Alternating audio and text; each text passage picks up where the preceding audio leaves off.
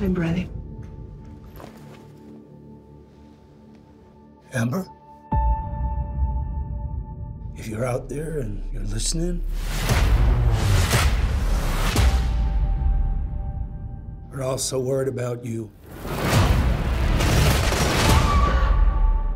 You did nothing wrong.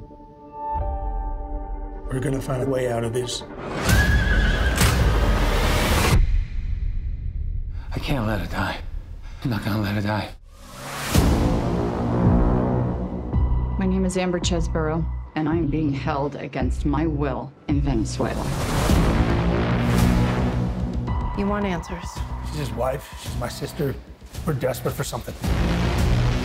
You better go down there. Take care of your sister.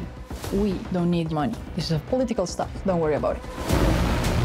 My brother and my husband are in special forces. I know how these decisions are made. They won't approve a raid. We have to get her out. I guess we should cancel dinner. How many lives are you willing to trade for your sister? The CIA wants a war, and you're going to give it to them. The truth is, democracy is dead in North America. We reject your influence.